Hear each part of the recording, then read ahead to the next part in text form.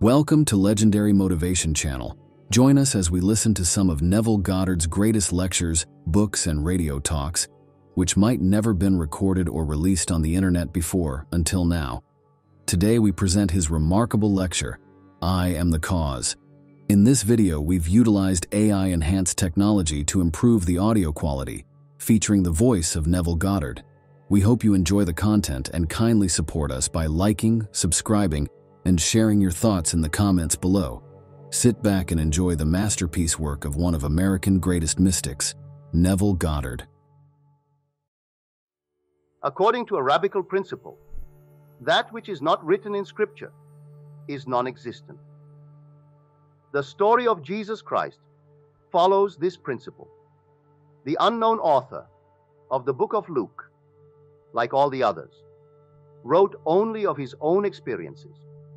Turning to his disciplined mind in self contemplation, he is Jesus turning to his disciples and saying, Scripture must be fulfilled in me.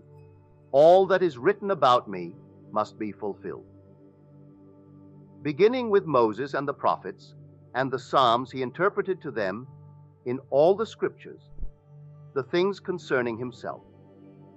And they said to one another, Did not our hearts burn while he opened to us the Scriptures? Then he said to them, Everything written about me in the law of Moses and the prophets and the Psalms must be fulfilled. Then he opened their minds to understand the scriptures. Luke is speaking of the Christ in you, for any Christ coming from without is a false Christ, taught by false teachers.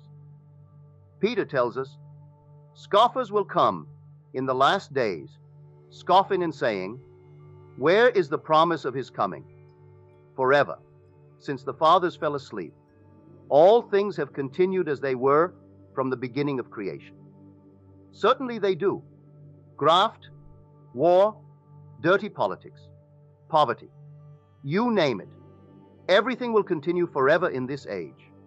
So do not look for signs of his coming in the outer world, as this age will continue producing poverty, graft, war, and unlovely things. But when Christ comes, it is like a thief in the night. When you least expect it, Christ awakens within you to reveal yourself to yourself. In many and various ways, God spoke of old to our fathers by the prophets, but in these last days, He has spoken to us by His Son. For when the Son appears, He reveals God as His Father. Until God's Son reveals Himself in man, man searches on the outside to discover how things are made, but he cannot find the maker. Our world is God's handiwork. As told us in the 19th Psalm, the heavens declare the glory of God, and the firmament shows forth his handiwork. Our scientists have discovered how to go to the moon, from which they returned with Earth. Then they analyzed it and discovered it to be dead no matter where man goes, he will discover that everything is dead. For God's handiwork is here and here alone. But no matter how much his handiwork is analyzed, it will not reveal its maker. Today, three of our citizens received the Nobel Prize for their great work in trying to analyze this wonderful land of ours. They will find many wonderful things about it, but they will never find its maker. He comes only when the individual finds the Son, for it is God's Son who reveals his maker. I tell you, the Bible is all about you. It is your own personal spiritual biography. Every child born of woman is recorded in the Bible, not as John Brown or Mary Smith, but as Jesus Christ, for he is the child's true being and the Old Testament is a prophetic blueprint of his life. When you read the ninth chapter of Isaiah, you may wonder what it is all about, but may I tell you, nothing could be truer. Listen carefully. To us a child is born, to us a son is given, and the government shall be upon his shoulder, and his name shall be called Wonderful Counselor Mighty God, Everlasting Father, Prince of Peace. These revelations do not come in the order the prophets recorded them, or some scribe changed, but the names are true and are revealed in perfect order. The first name given to you when you fell asleep was El Shaddai, which means God Almighty or Mighty God. But one day you will awaken. Now completely individualized, you will feel a vibration so great you will think you are going to die. But far from dying, the vibration will awaken you from your long, long sleep. You will awaken within yourself to discover that you have been entombed there for unnumbered centuries. You may not know how you got there and why, but I'll tell you. You went voluntarily. No one took your life, you laid it down yourself. You have the power to lay it down and the power to lift it up again.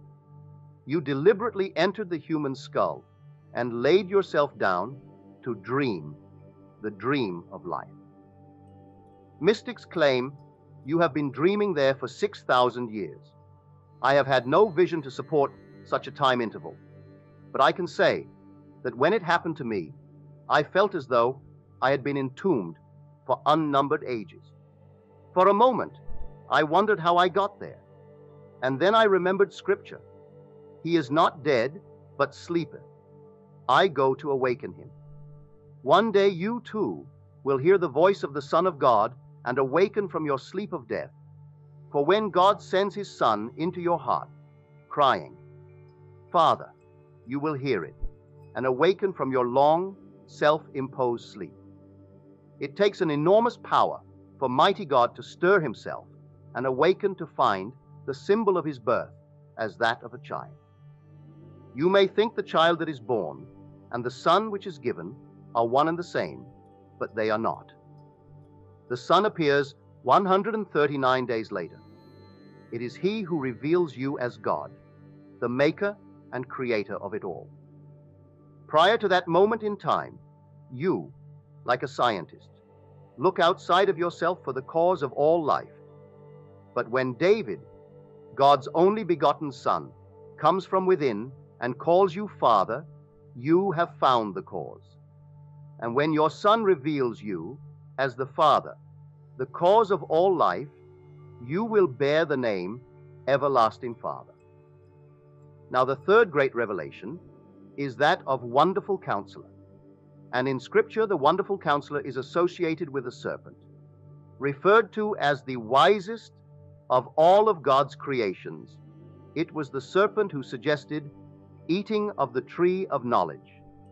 And when told he would die, the serpent said, No, you will not truly die. For God knows that when you eat of it, your eyes will be opened and you will be like God, knowing good and evil. The wonderful counselor did not lie, for believing himself to be you, he experienced death but did not really die. Even though we depart this world and seem to die, we don't. Instead, we are restored to life in a world just like this to continue our journey for unnumbered centuries. Now, in the same third chapter of Genesis, the Lord said to the gods, Behold, the man has become like one of us, knowing good and evil, just as the serpent said he would. Only by coming down into this world of experience can you eat of the tree of knowledge, of good and evil, and become as the gods. So we see the third title, Wonderful Counselor, has much to do with the serpent. We are told that no one ascends into heaven but he who descended from heaven, the Son of Man. And as Moses lifted up the serpent in the wilderness, so must the Son of Man be lifted up. When you read these words, they do not make sense, but when you experience them, and you will, the third title of Wonderful Counselor is conferred upon you. Your eyes will be opened then, and you will know good and evil from experience. You will know that you will not die, but will return to the heavenly state from which you, the Son of Man, descended, and you will ascend like a fiery serpent. Now, the serpent of Scripture is described in the sixth chapter of the book of Isaiah as the seraphim which surround the throne of God. The seraphim is, sick, by definition, a fiery being with human face, human voice, and human hands. Isaiah gives him six wings two to cover his face, to cover his feet, which is a euphemism for his creative organs. And he flies with two. But beyond that, this heavenly being, the wisest of all God's creations, is not described. This is your true identity, for you are the gods who came down. You are not some little amoeba which came out of the mud. You came down from heaven and emptied yourself of all, that you were in order to assume the limitations and weaknesses of the human flesh. You are not pretending that you are man. You became man by assuming poverty, though you were rich. You assumed weakness, though you were strong. You, an infinite being, assumed all these things for their experience. The whole vast world declares your glory. But only here on this little earth is this wonderful work revealed.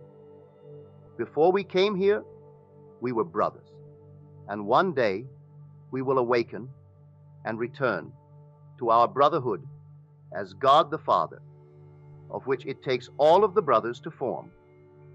Now, the fourth title, Prince of Peace, is sent in the form of a dove this does not physically happen to you, and when it happens, you are the only one who knows it.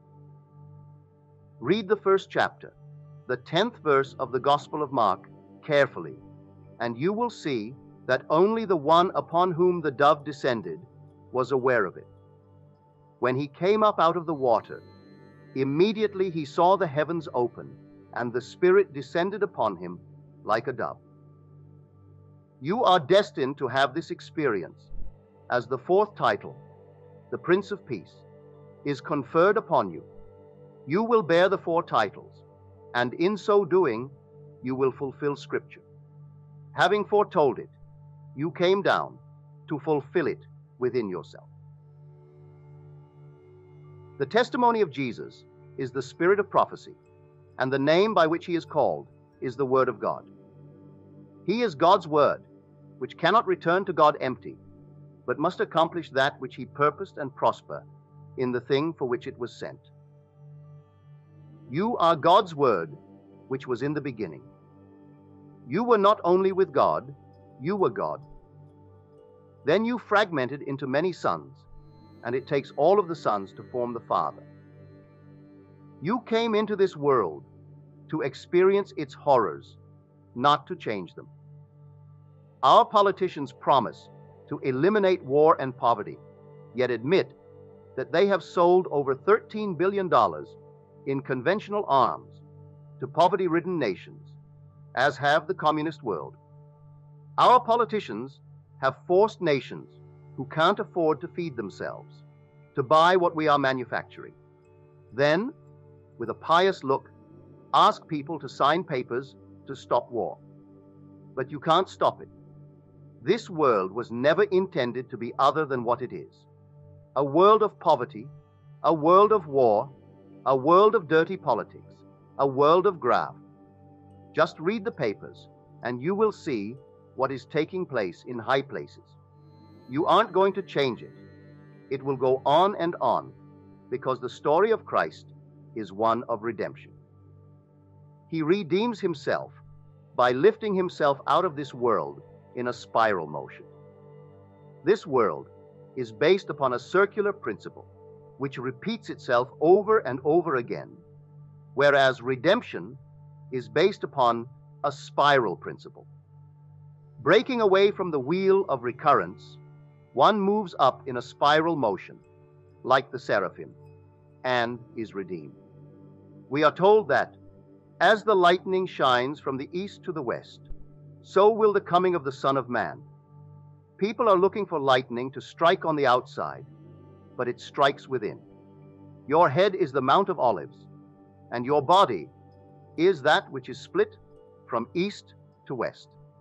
One half moves north, as one half moves south, leaving a great valley. At the base of your spine, you will see a pool of golden, liquid, pulsing light, which is the blood of God. Fusing with it, you ascend into your skull like a fiery serpent, and your skull reverberates like thunder.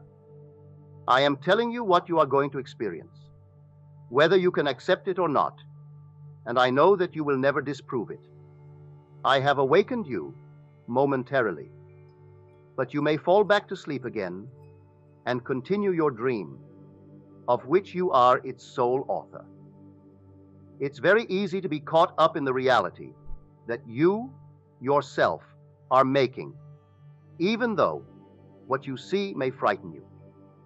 You may have many horrors in your dream and believe what you are seeing is a reality outside of yourself and beyond your control. But you alone are writing the script. Haven't you had a dream where you were scared to death, not knowing you were its cause? The same thing is happening in the waking dream. But man does not know that this too is a dream until he awakes from it in the manner of which I have told you. One night as you sleep, something will arouse you, and you will awaken to find yourself in your skull. You know it is your grave, where only the dead are placed. But you know yourself to be very much alive. Someone must have thought you dead to have placed you there. Or you may have entered the place voluntarily and fell asleep to such depth that others thought you were dead. But when the time was fulfilled, you heard the cry of the Son of God, which awakened you. And as you come out of that tomb, you are born from above. This is essential, for unless you are born from above, you cannot enter the kingdom of God. Everyone is in this world because he is born from below, from the womb of woman. But while here, he must be born from above, from the skull. That which comes out has no mother, no father, no beginning of days or ending of days. For that which is born from the skull is aware of being the maker of all. You will discover this great truth only when God's Son stands before you and reveals you to yourself. This tiny planet appears as only a speck when viewed from outer space, yet it is so important. For only here can this biological experiment, which expands the power of God and the wisdom of God, be cradled. Without this world, God could not grow in wisdom. He would be stagnant if he could not expand beyond what he is. God is an ever increasing illumination, an ever increasing creative power, an ever increasing wisdom, and, by reason of this one little speck called earth, where he wears these little garments of mortality, God is holding to the promise he made himself to awaken within himself and fulfill the play recorded in Scripture. The story of Christ is not what the world is talking about. He isn't going to change the world. Tomorrow's generation may think it will be different, but poverty will exist then as it does now. There will be changes in passion, and eventually they will return to what they were. It's like a wheel. It's a circular principle where nothing changes. The individual changes only when he leaves the wheel in a spiral motion, and that is when he is redeemed. He returns to the world from which he came, enhanced by reason of his experience of death in this world called earth. The principle of the rabbis is true, so let me repeat it. What is not written in Scripture is non existent. The presidents, kings, and dictators of the world are not recorded in Scripture. Therefore, they are non existent. They are merely parts God is playing as he passes through states. The part of a president, a king, or a dictator is a state, and when entered, it is animated. It seems so real to its occupant and to those who observe it, but it is only a state. You can play any part, be it a rich man or a poor man, a beggar or a thief. the known or unknown. Once you know, they are only parts, only states of consciousness. But if you don't know this and are not willing to give up your present state, you will remain there, looking at your desire and not from it. You can become what you would like to be in the twinkle of an eye by the simple act of assumption. And the day you dare to remain faithful to your assumption, it will begin to externalize itself. And when it does, you may return to sleep, just as you do in your night dreams. Becoming possessed by the dream you created in your sleep, you observe your own creation. And if it is a noble dream, you can become so puffed up in your own concept that you forget its creator. Or you can create something ignoble and become so immersed in it you believe in its reality. Anything can be created by a mere assumption. When I dared to assume I was the man I wanted to be, I did not discuss it with others. I simply persisted in my assumption and watched it harden into fact. That persistent act taught me that this world was a dream. My oldest brother, at the age of 18, had no money and no prospects of getting any. But he had a dream. He dreamed of owning a building which housed the family business. Twice a day, on his way to work and return, he would stop opposite a building which occupied an entire block at the widest area of the main street. And there he would imagine seeing the words Goddard and Sons on its marquee. He persisted in this act for two years, when one day a total stranger bought the building for the family, trusting them to pay him back over a period of 10 years. That building, which became the foundation of our family's growth, started in my brother's imagination. Having nothing on the outside to turn to, my brother had the guts to imagine and believe that his imagination would create his reality. Today, I don't think you could buy the family out for multiple millions because their gross business last year exceeded $30 million. Do as my brother did and discover the depth of God in you. Test your imagination, for there is no other God. If you test him and discover that it is he who creates all things by producing tangible proof of his reality in what you did, then no one will be able to persuade you that what happened was a coincidence. My brother lived by and built his fortune on imagination's foundation. Of course, having created such a vast enterprise, he may go to sleep and believe his 1,000 employees are the cause of his incredible wealth. We are all inclined to forget that we are the makers of all that is happening. And, forgetting, we blame our dream. The world is yourself pushed out, but it is so easy to place the blame on an aspect of self rather than on you, the dream's maker. Learn to use your imagination consciously, for it will not fail you on this level or on the higher level. But you cannot depart this world by changing your thoughts it will happen in the fullness of time, when the Father in you, who fell asleep, begins to stir. Then he awakens you, and when he does, you, mighty God, will receive the name and carry the special powers of Everlasting Father, Wonderful Counselor, and Prince of Peace. And of your reign there shall be no end, for you will know yourself to be the Jesus Christ men worship outwardly. The ministers of this world are talking about his coming, trying to interpret signs on the outside. But I tell you, Jesus does not come at the end of human history, for he comes individually. Tonight, one of you could experience his coming. No one knows but the Father in you. Ever since that Father fell asleep, all things have continued as they were from the beginning of creation. So don't look for any change on the outside. When the politicians promise change, don't argue. Smile as you have through the centuries. knowing they aren't going to change anything. The world is made up of infinite states which man falls into unwittingly or deliberately, as my brother did. He was a poor boy who deliberately moved into the state of wealth.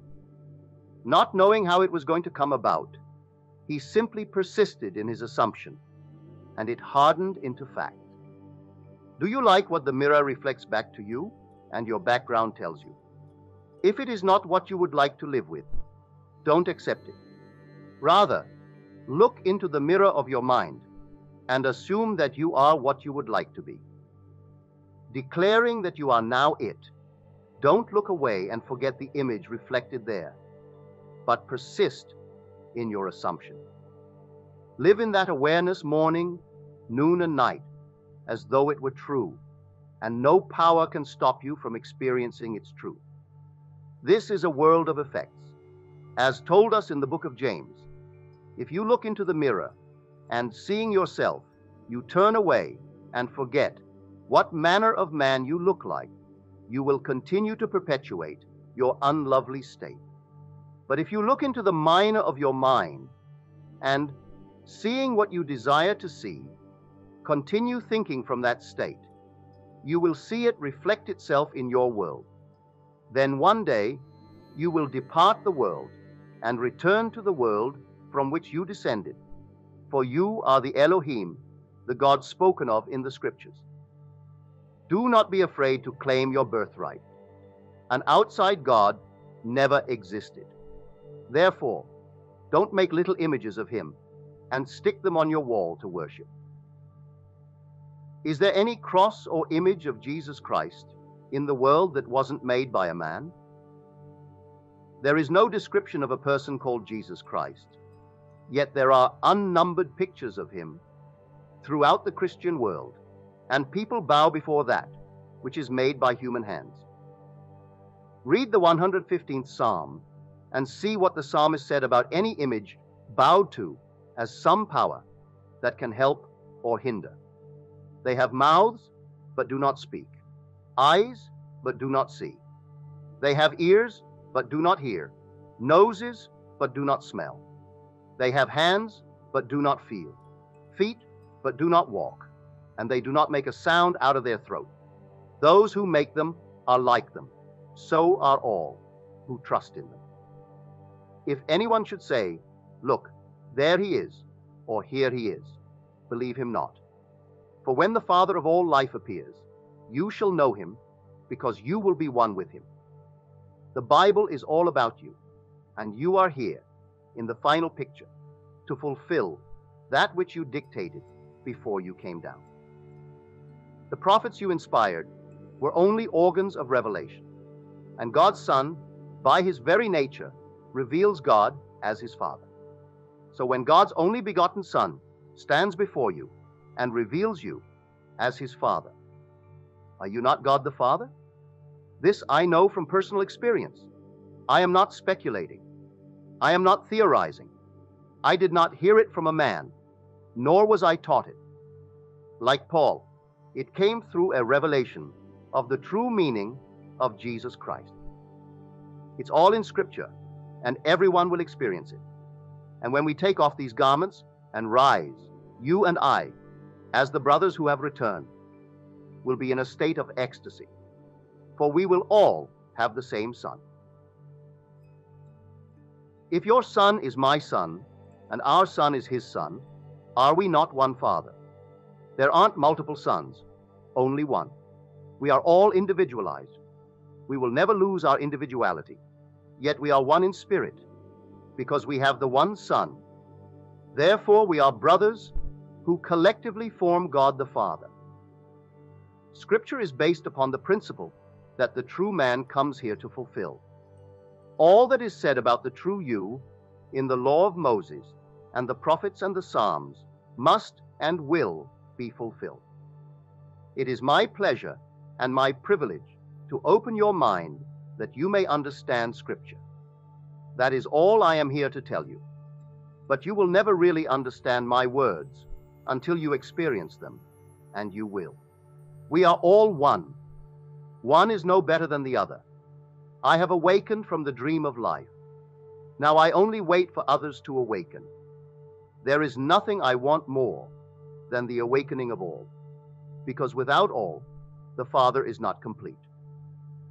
So I tell my story over and over until everyone hears it and sets their hope fully upon this wonderful story that one day must erupt within them. Now let us go into the silence